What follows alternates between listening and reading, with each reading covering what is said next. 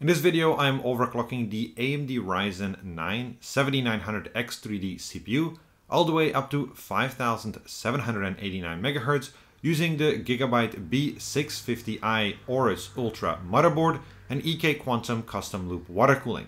I'll speedrun you through the BIOS settings and provide some notes and tips along the way.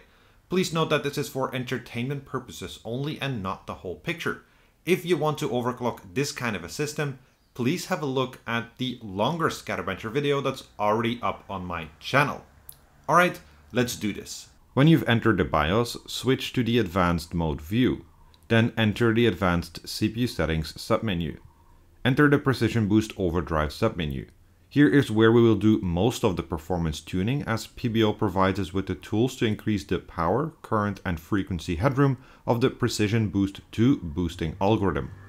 Set Precision Boost Overdrive to Advanced.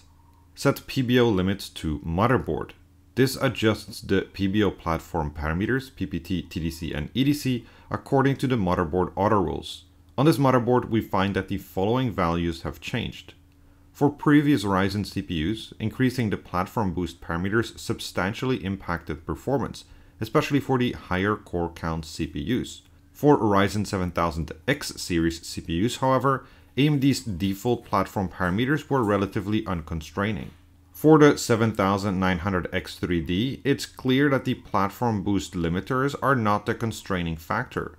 During a Prime 95 non-AVX workload, we see that the maximum values for PPT, TDC and EDC are 115 watt, 96 amps and 98 amps respectively. The main limiting factor for the 7900X3D is the maximum allowed voltage for the Vcache CCD, which is around 1 volt under a high load. Set CPU boost clock override to enabled positive. Set max CPU boost clock override to 150. This increases the CPU's frequency ceiling by 150 MHz over the programmed max 1T limit. On this Ryzen 9 7900X3D, that's 5650 MHz. Increasing this by 150 MHz results in a ceiling of 5800 MHz.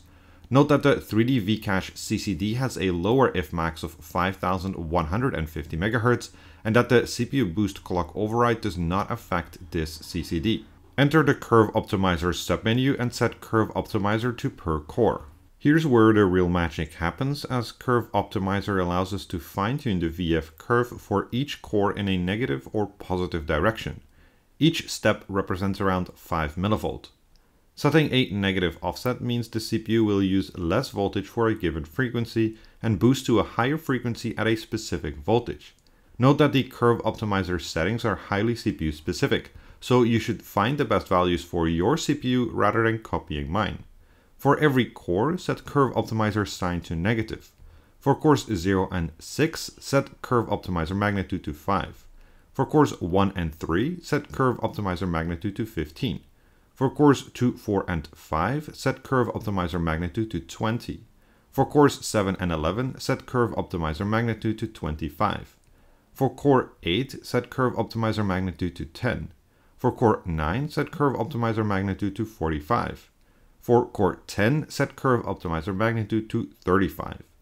Leave the curve optimizer submenu.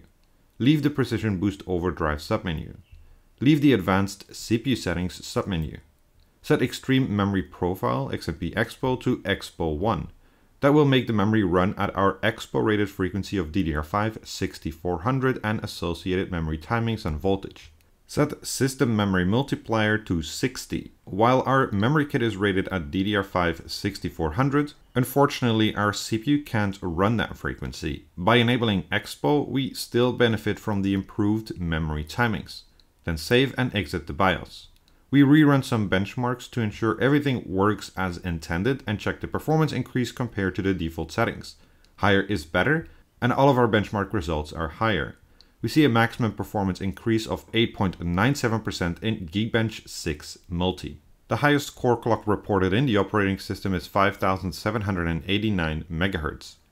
When running Prime 95 small FFTs with AVX disabled, the average CPU effective clock is 4670 MHz with 0.991 volts. The average CPU temperature is 77.2 degrees Celsius.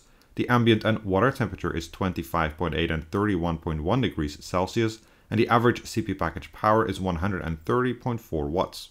And that's it. I thank you for watching and the patrons for the support, and see you next time.